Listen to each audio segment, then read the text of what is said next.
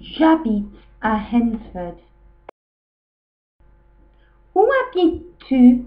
J'habite à Hensford. Il, elle. Il habite à Hensford.